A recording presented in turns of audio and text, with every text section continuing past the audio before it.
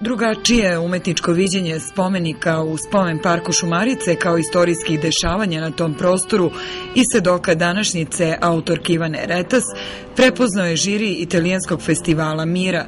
Zahvaljujući toj nagradi, trominutni film Igra Senki dobio je pravo da nosi logo festivala na drugim filmskim manifestacijama priča koju sam ja videla je priča koju proživljavam svaki put na mom inače omiljenom mestu u Kragujevcu kada šetam kroz spomen park Šumarice. E, zabeležiti kroz tri trominutne priče i još jedno od e, bezmalo toliko vremena e, ono što možda istorija nije ni prikazala bio je jedan izazov koji je meni kao čoveku nametnuo mnoge dileme.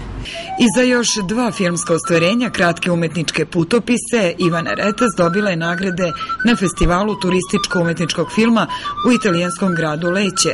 Reč je o filmovima Magistrala 30 kroz 3 i Saputnice o manastiru Preradovac i snazi obstajanja stanovnica ovog zdanja to nije priča o manastirskom životu, to je priča o šumadiji, o jednom drugačijem načinu života e, koji ne čine ljude koji ga žive nesrećnima, već ih ispunjava. E, naravno da, kao i u priči Spomen parku, uvek se trudim da izvučem neke pouke od ljudi sa kojima sarađujem, koje snimam. E, tako je bilo i ovom prilikom. Nekako posle tog obilaska manastira Preradovac, snimanja i beleženja cele priče, i ja sam našla odgovore na neka moja lična pitanja.